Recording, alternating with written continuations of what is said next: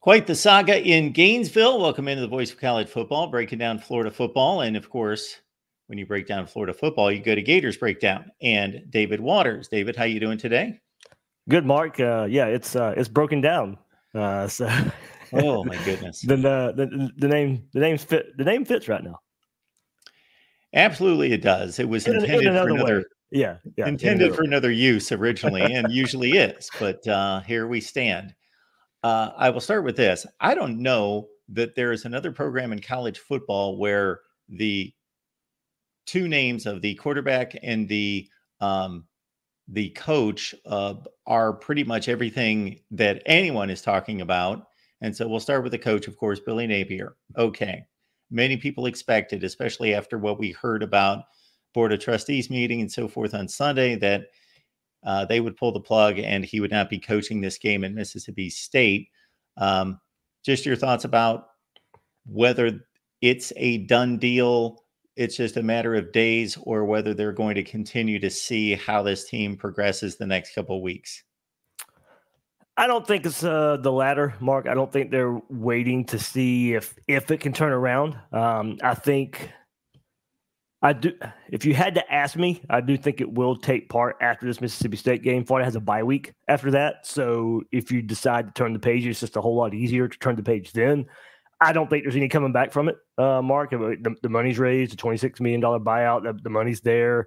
Uh, they're boost, you know, the, the boosters are certainly ready to move on uh, and are you know have let it since the Miami game pretty let it be known that hey this this isn't going to work uh, and then Texas A&M was just further confirmation of that. So uh, yeah Mark I, if you had to ask me to put a timeline on it I'd say if we were to get together early next week Billy Napier won't be the head coach of Florida. Now we'll see. Uh, I think there's a, a maybe he does get fired and finishes out the season. I can I can see that scenario uh, at the same time, but I would not be surprised next weekend we or this coming up weekend we get the word that Billy Napier would no longer be moving on as head coach for Florida starting in 2025. Now, had we known at this point in the season Florida would be one and two, nobody would be surprised but at the same time, if we knew they were one and two and they had performed the way they did against Miami and Texas A&M and did not lose one score games to teams that they should be competitive with, but lost in the manner that they did, this is obviously not a good look for where this program's headed. I looked at a couple different sources this week, check in with you at times, and it appears as though everything else with this program seems to be running well. And I know if you're not winning on the field. Nobody cares about that. But it seems like the players respect the coach. They like him. They show up on time. They do their work. They're not getting in trouble. All those things. There doesn't seem to be a bad attitude on the field. They seem to support him. He claims Billy Napier that he's doing those things behind the walls that that show that he's building a program. Uh, but obviously, it's got to translate to the field. Uh, pretty much immediately, or he's actually probably past that line. Yeah, Mark, there's a disconnect somewhere. Uh, you know, Napier has said many times uh, in the last couple of weeks, hey, whatever I see on the practice field Monday through Thursday, for whatever reason, we don't see it on Saturday. And it's a surprise to him. Well, that, can be a problem in and of itself. Either he just can't identify what a good football team in the SEC looks like, or that actually is the case. And for whatever reason, it just doesn't translate on Saturdays. Either way, it's a problem. Uh, so, yeah, yeah, Mark, there there is a good culture there. It's not a winning culture, uh, and that that to me that's the best way to break it down. Uh, and and that's all that matters. You know, the wins and losses are all that matters uh, in, in the end. And you know, it, it's as you know, there's not a lot of players in trouble uh, uh under Billy Napier, uh, as you said. Uh, you know, the big thing taking over for Dan Mullen was you know getting the, the players to you know want to be at Florida, enjoy being at Florida, fix parking situations, fix strength and conditioning, fix you, nutrition, all that kind of stuff. Uh, and a lot of those things have happened, uh, but it just does not translate uh, to to um, to wins on Saturday. And, and, you know, speaking of Saturday, it, it's just Mark. I think you can just say it, if all those other things are true, it just lets you know probably how bad of a game day coach Billy Napier is. I mean, there's no feel for a game. The defense is in his third season bad once again, but for Florida, now going on five seasons of bad defensive football. Uh, he not, has not been able to fix that side of the ball. Uh, the offense has seemed to regress in some ways when, to me, it really shouldn't have with a returning quarterback, what you have at receiver, uh, what you have at running back. The offensive line, much like the defense, just has gotten worse uh, under Billy Napier. So it's not a very tough team, Mark. Uh, I think that really what takes Gator Nation off a, a, whole lot. You can see it in the trenches versus Miami. You can see it in the trenches versus Texas A&M. Um, so doesn't matter how good it is behind the scenes, Mark. It just uh, it just does not translate into wins and losses for Billy Napier. Okay. There is also a line of thinking to a certain extent, and this is me just thinking on the surface that maybe it's a little bit more than Billy Napier. If you look at the history of this program, sure, it's a highly successful program, but that's pretty much been Steve Spurrier and Urban Meyer. They have reached the heights of the heights, and they have pretty much been the responsibility of the entire cachet of this entire history of this program. Sure, they had some nice teams in the 80s, but basically it's been Spurrier and Meyer. And ever since Urban Meyer stepped off campus, they've made four coaching hires. Dan Mullen, we could have a debate as to whether he was successful. He, of course, had three really good seasons. Um, they've had four hires. And if I've got these dates correct, Scott Stricklin's been the AD since I believe 2016. So mm-hmm. he's responsible for three of these hires, or maybe it's just the last two. Uh, yeah, he did not hire McElwain, so he hired Mullen and Napier. Okay, so he's only had two, and again, Mullen just had the one bad season, and then there were all the off the field things that contributed to his dismissal. But uh, is is there anything outside of just Billy Napier being the problem that could be more systemic? I still think it starts there, Mark, because I do think there is more talent on this team. And no, don't get me wrong, it is not championship level talent. Nobody has ever you know stood by that, but it's better than what we've seen. Uh, but as you kind of go and mention and, and kind of the the litany of head coaches Florida has had, I mean, yeah, everybody wants to point to the University University Athletic Association and how Florida you know, kind of got arrogant in the 90s with Spurrier and a little bit with Meyer as well. And just didn't really feel the need to keep up with the times. You know, Florida fell behind in the arms race the facilities. And by the time they got their Taj Mahal facility, everybody already had it. And the page to turn to NIL uh, in transfer portal. Uh, and then Florida kind of got off while the first collective in the country with the Gator Collective now Florida victorious, um, it just wasn't there was not a lot of support by the UAA and the administration. They were slow to take hold of what NIL and how important it was going to be uh, to build a college football roster and build a college football program. Uh, and you know, Florida Victorious now has just gotten up to that level uh, to be, I think, you know, a, a, top ten, top fifteen collective in the country. Uh, but it was they're slow to come around on it. I still don't think a lot of the the old guard has come around on just how important NIL is. You know, they, they want it to be the old way and they want to hang on to that. They'd rather have a coach that they could be buddies with and take photos with and have a yes man. And that's just not what is needed in today's college football. Uh, so, yeah, it's not all Billy Napier. It is on Saturdays and what we see that that's the problem, Mark. Uh, but if Florida's ever going to reach that pinnacle of being a national championship program, it is more than just a head coach. So you mentioned the possibility that Billy Napier could finish out the season, but be a fired head coach. What do you think would be the the the most optimal decision to be made that would be the best for the health of this program? Would it be is there a coach on staff that you trust to hand the keys to for the final nine games, eight games? That that's the problem. No. Yeah. Okay. Yeah. I mean, Ron Roberts is not that guy's defensive coordinator. They brought in Dan Enos as a analyst. He's got some head coaching experience, but failed almost every stop he's been at lately. Uh, there's the only alumni you have on staff is Mike Peterson as your edge, uh, your edge rusher coach.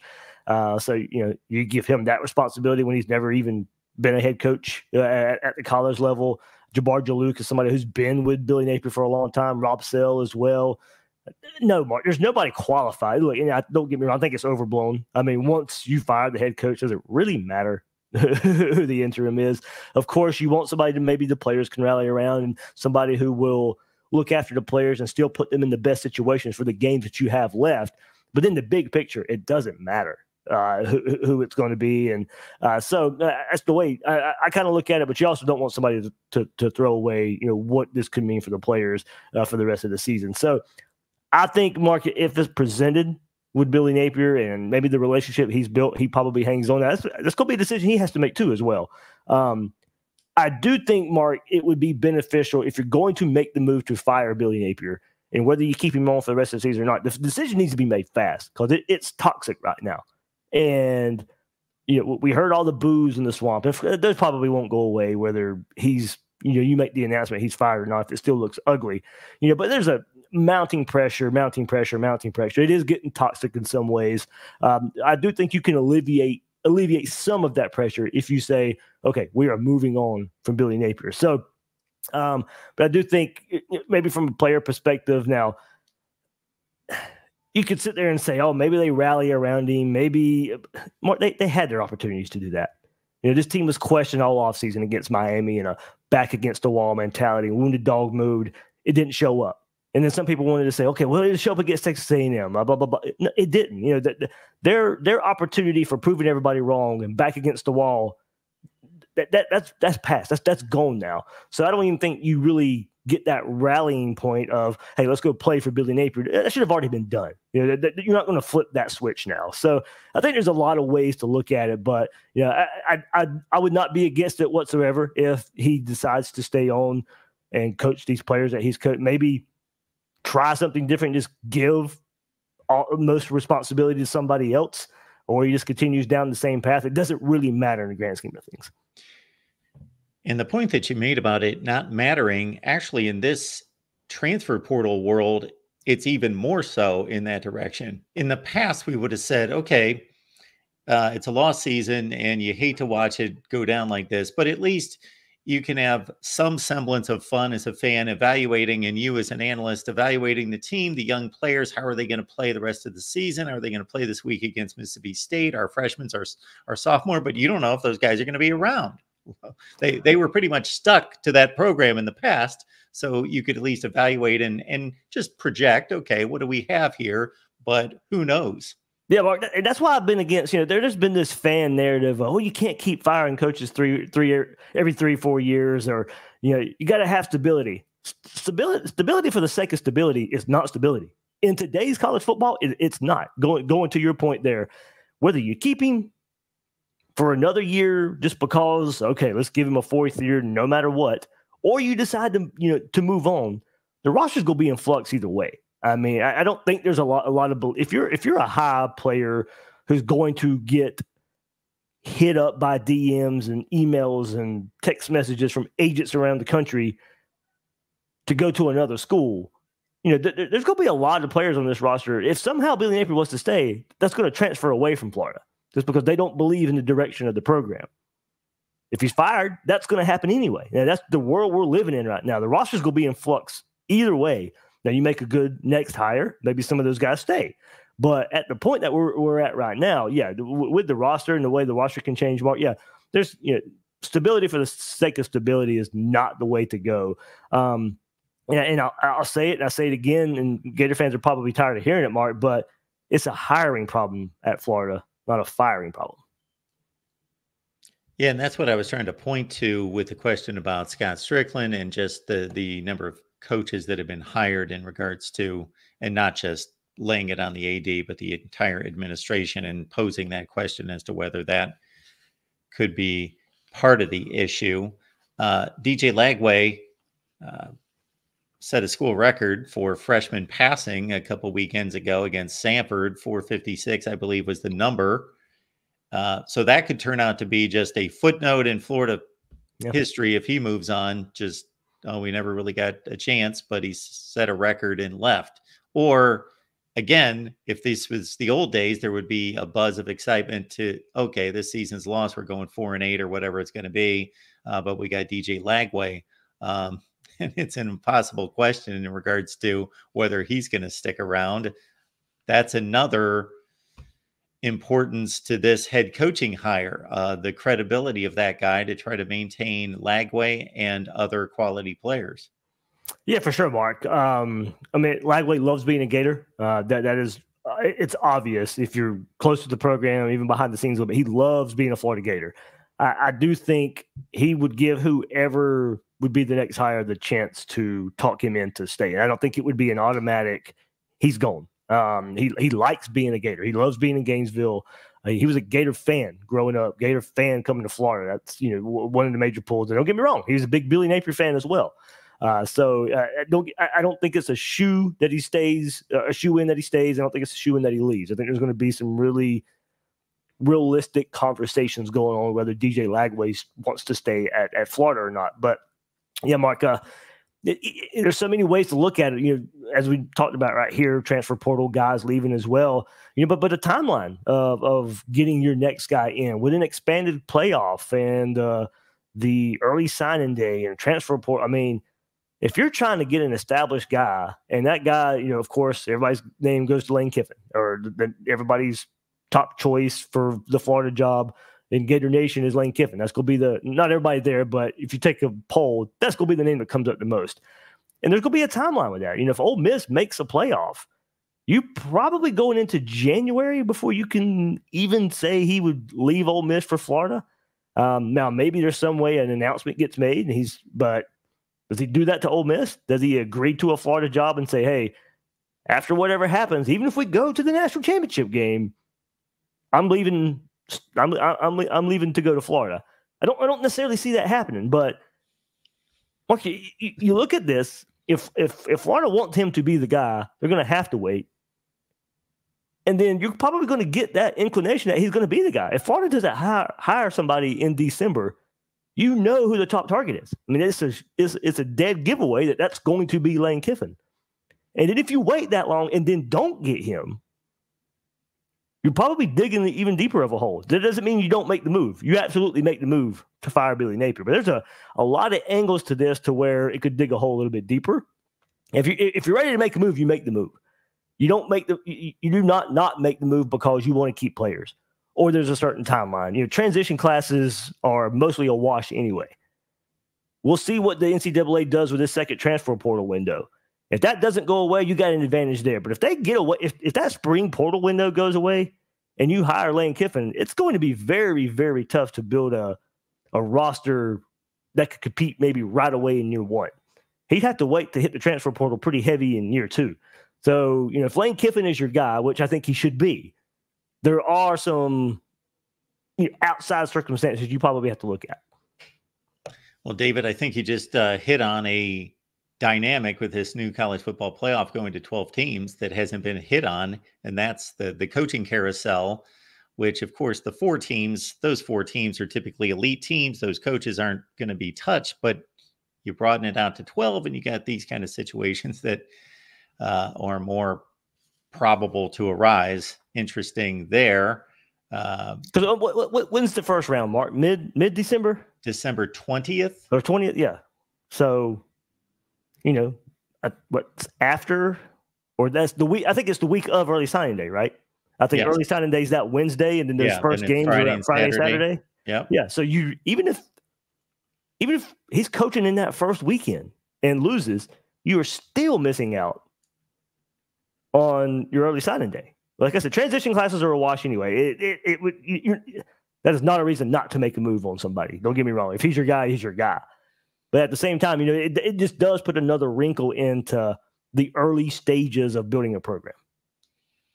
All right, folks. Uh, Florida goes to Mississippi State. If you've ever been in a stadium when there's been this kind of saga, it's it's just an odd, eerie feeling because uh, people aren't really watching, paying attention to the game. They are thinking about what's going to happen with the coach and the team and it's kind of strange. I don't know what it was like at the swamp this past weekend, probably something like that, but Some, maybe a refreshing thing actually uh, for the team to go on the road and get out of there. Yeah, there was some boo birds, of, of course, going yeah. into there was the the weather delay, some boo birds going into the locker room, halftime, boo birds going into the locker room, and certainly after the game.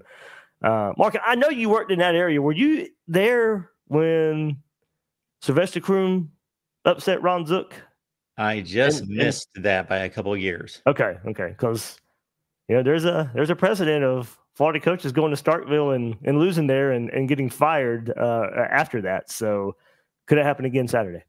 All right. David Waters, Gators Breakdown. That is the destination to be. It's one of the most successful college football podcasts out there. So you can catch it on your favorite audio platform or right here on YouTube. David, appreciate you st- stopping by, breaking things down for us. Know it's been a rough season for you and the, the Gator faithful. Yeah, for sure. Next time we talk, Mark, who uh, who knows who'd be head coach of Florida?